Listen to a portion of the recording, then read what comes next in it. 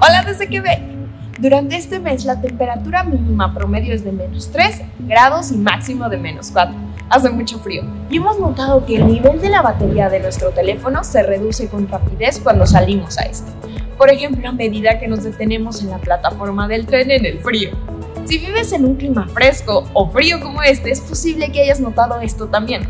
Lo puedes notar incluso en tu automóvil, que se niega a arrancar en una mañana fría. Esto no es culpa de las baterías exactamente, es la química. Vamos a descubrirlo. El proceso químico exacto depende del tipo de batería, pero esta es la idea general para todas las baterías.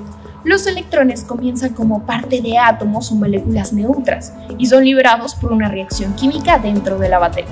Como resultado de la reacción, los electrones se mueven a través de un cable y se encuentran con moléculas cargadas positivamente al otro lado de la batería.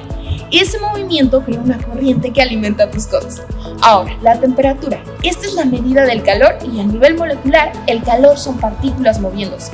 Así que esto influye en las reacciones químicas. La temperatura alta significa más movimiento molecular y más moléculas chocando entre sí, lo que hace que las reacciones químicas sean más probables. La baja temperatura ralentiza las reacciones químicas, aunque también juega un gran papel las sustancias de las reacciones, lo que explica por qué puedes notar que algunas baterías sufren más que otras en invierno. No todas las baterías están hechas del mismo material.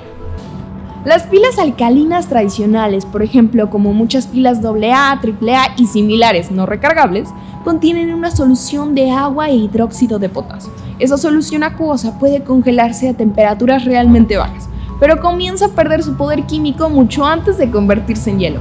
Así que no intentes usar dispositivos con ese tipo de baterías al aire libre durante una tormenta de nieve.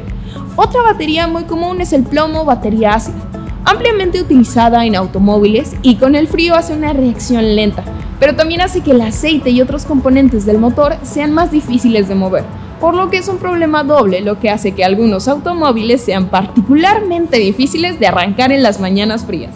Luego están las baterías de iones de litio como la de tu teléfono. Tienden a vencer a los alcalinos en climas fríos, pero incluso tienen sus límites. Por ejemplo, los autos eléctricos en áreas donde hace mucho frío suelen verse afectados pero debido a que la temperatura ralentiza esas reacciones, los electrones se liberan de una manera demasiado gradual.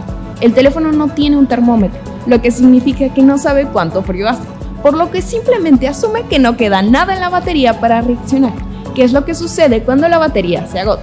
Entonces el teléfono le dice que la batería está baja, cuando en realidad solo está fría. Después el teléfono se dará cuenta de que aún tiene más energía y que pueden ocurrir más reacciones nuevamente. Eso es todo por hoy. No olvides suscribirse, darle a like y nos vemos. Hasta luego.